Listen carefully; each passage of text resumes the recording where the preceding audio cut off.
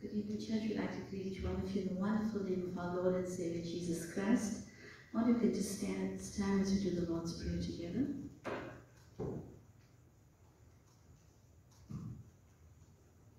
Our Father, who art in heaven, hallowed be thy name. Thy kingdom come, thy will be done on earth as it is in heaven. Give us this day our daily bread, and forgive us our trespasses, as we forgive those who trespass against us. And lead us not into temptation, but deliver us from evil. For thine is the kingdom, the power, and the glory, forever and ever. Amen. Amen. We're going to do that song that says, Our God is mighty to save. Indeed, is Savior of the world, and we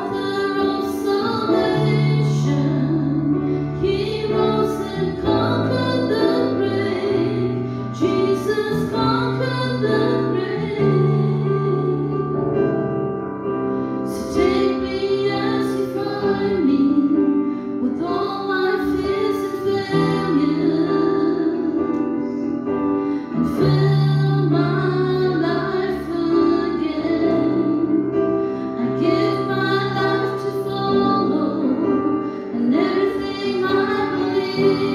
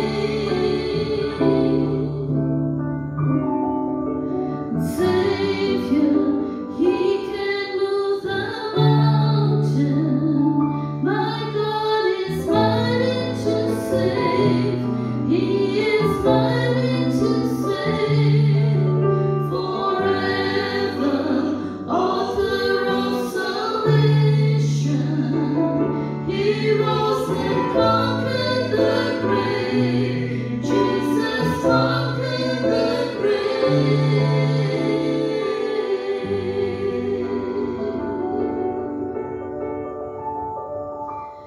that says that He is great and He is most worthy to be praised. Indeed, our God is worthy of all praise, glory, and honor. Amen.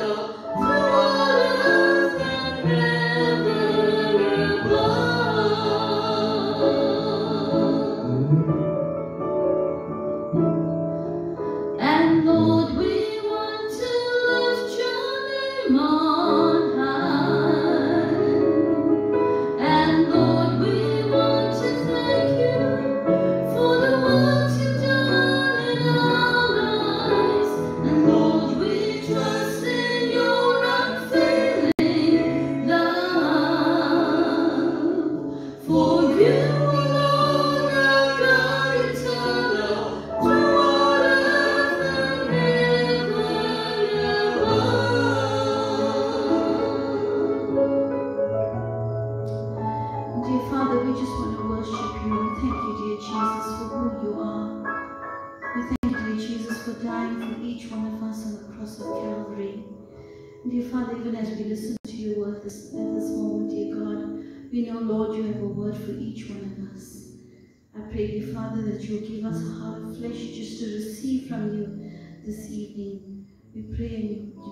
Bless your servant even as he shares the word this uh, evening, for we ask this in your name. Amen.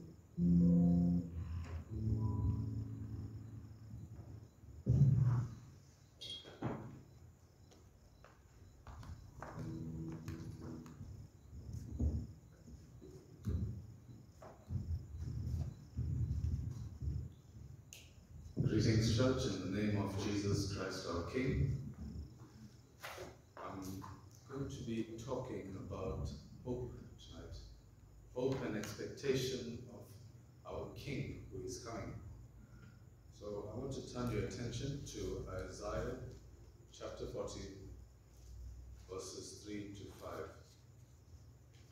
Isaiah chapter 40, verses 3 to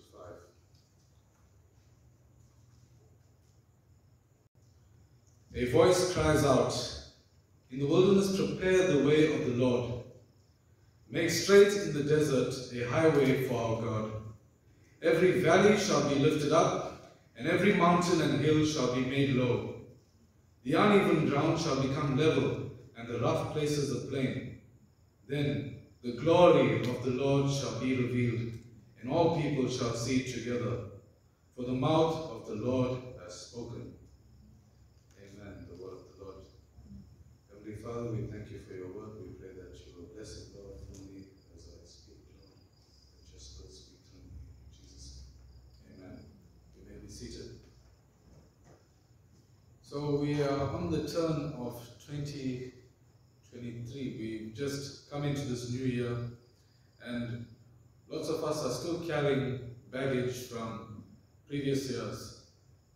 We are carrying the disappointments from 2022, 2021, 2020 when COVID started. We are carrying some of the victories that we've experienced in those years as well. But God is doing a new thing. We are preparing for the King of Kings. And every year we hype ourselves up with our resolutions, with promises of new beginnings.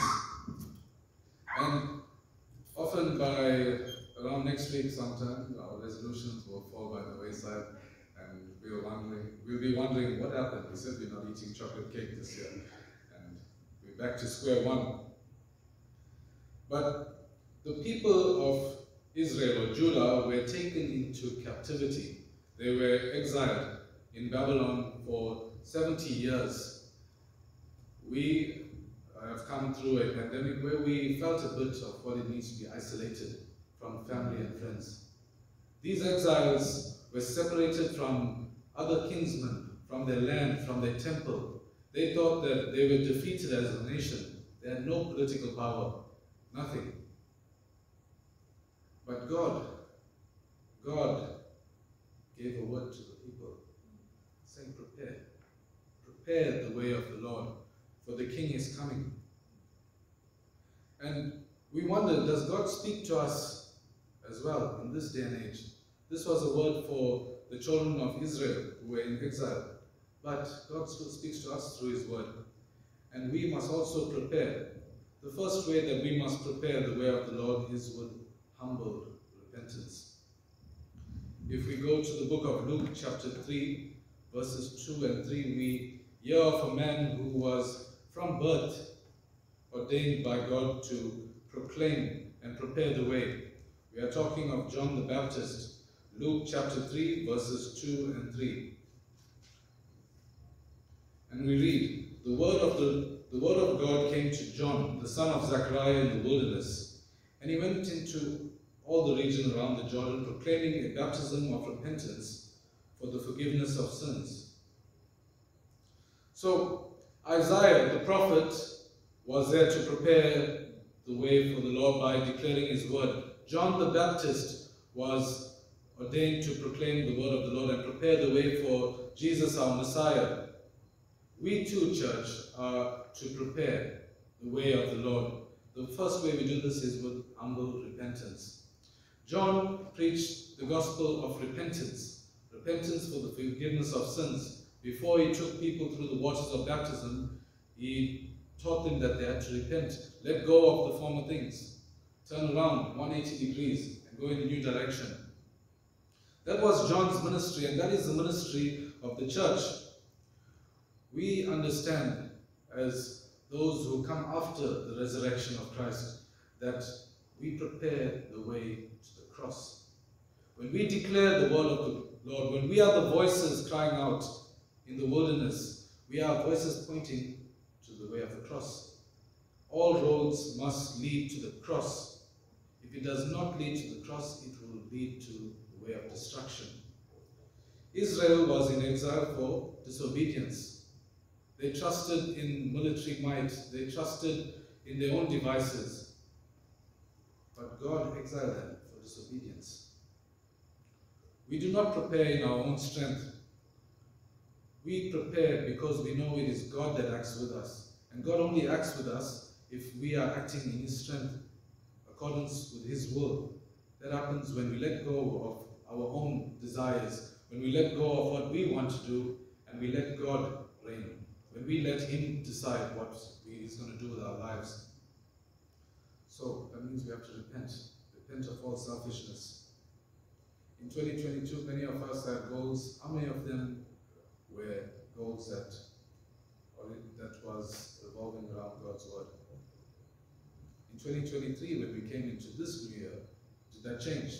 Did we resolve ourselves to, to follow after Christ with a zeal, to prepare the way by bringing sinners to repentance? Did we come to a place of repentance when we saw that the way leads to the cross, the empty tomb? Our King is coming. We must prepare with repentance, with repentant hearts, rejoicing in grace each day. The King is coming. Prepare in response to the word.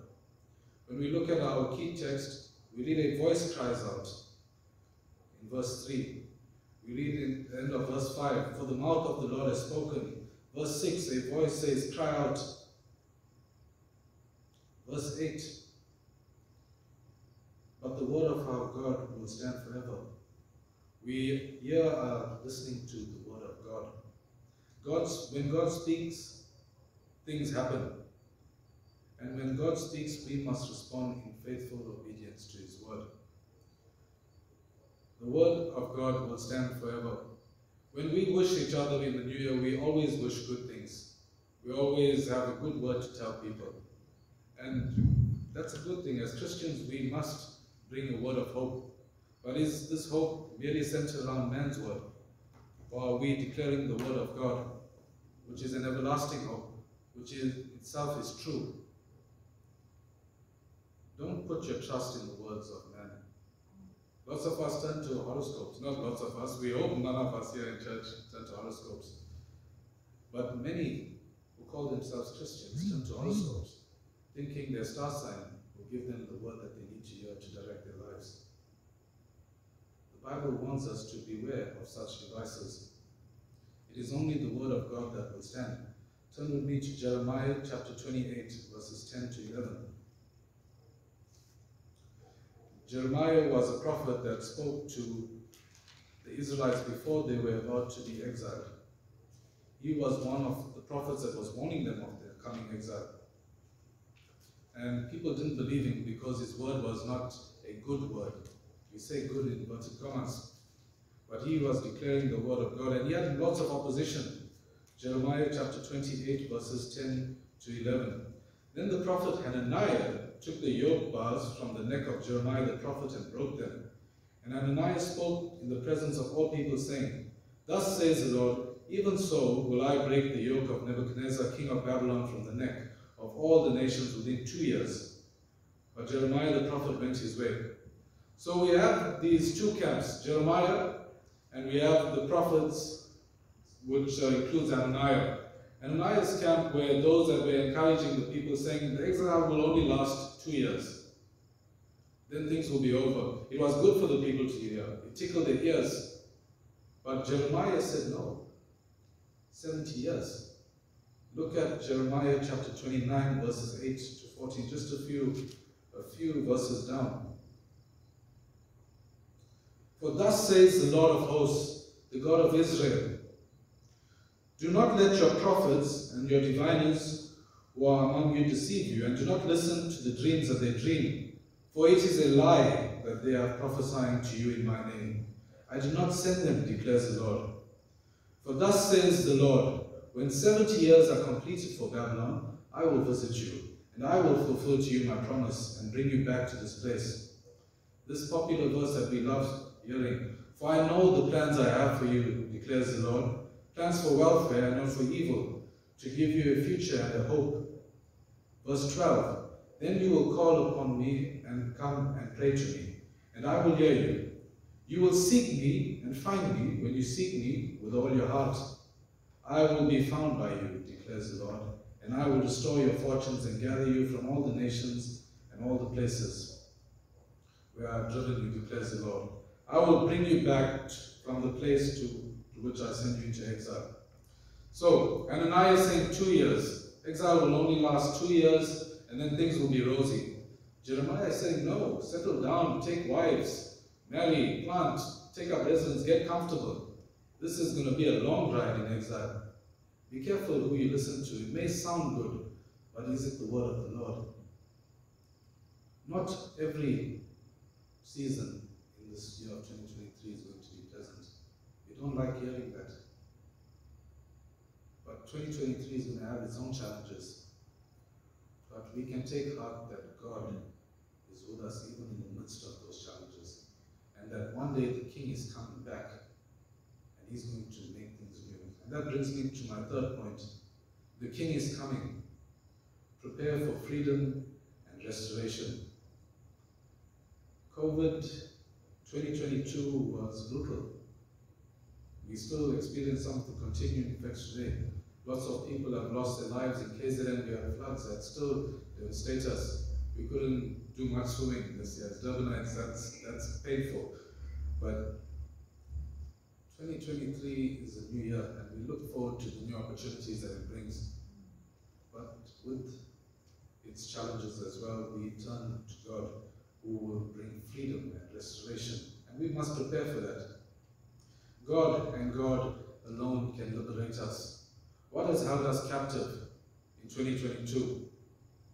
Was it negative words that were spoken to us as children that we still that we still hold on to? Is it unforgiveness? Is it bad habits? In other words, sin that we hold on to? Can we let that go in the new year? We know that the seasons will not always be easy. We know that this world is dark, this world is evil, this world hates us, but we have a God who loves us. We have a God that is always on our side, even when we are being disciplined as people, as individuals, as a church, as a nation. God still loves us, and we can respond to Him in obedience at any time, whether we are in captivity, whether we are free. But we must prepare for the freedom that comes. This world is dying. We know from the fall that this world is always under this world is under curse, but Jesus broke that curse. And God will restore. We suffer. We suffer loss. We we suffer because of the hatred that we feel for the world, for sin. We know that the world hates us in turn. But our suffering is not in vain.